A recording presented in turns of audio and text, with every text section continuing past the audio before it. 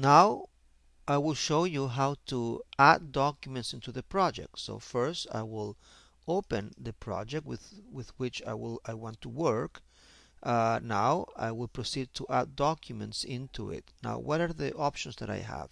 First you can go to documents, import documents and second you can click on this plus sign or plus icon on the top left corner of your screen and there you select import documents.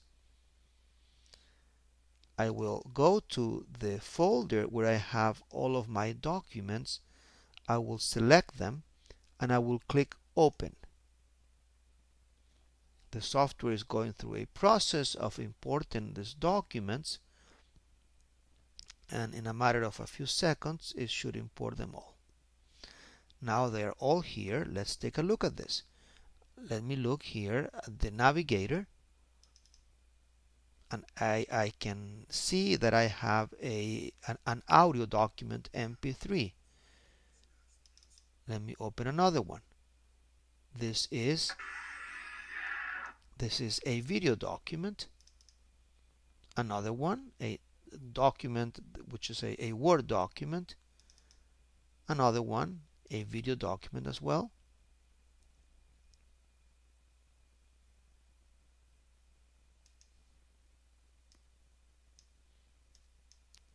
see here. And another one which is a, a, a, PDF document and so on. Here I have I have a, a, a photograph PDF PDF PDF so these are the documents that I have added into the project. Now I can also uh, do other things with this. I can for example I can for example come here and and uh, rename the document. And I think I showed this before. Um, so you can rename the document here. And you can also write here a description of this document. This is a WHO bulletin uh, on primary care in Cuba. Okay? So this is a brief description of the document uh, that I have uh, loaded on the screen. I can close these documents here one by one. In future versions of, of ATLAS.ti for the Mac, and updates are being uh, released uh, regularly, uh, and they are all free. Um, this here will change a little bit uh, this this icons on top that allow you to access one document or the other.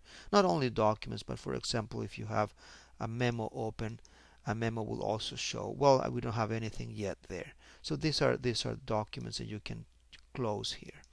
So this finalizes this this very brief overview of of how to add documents into the project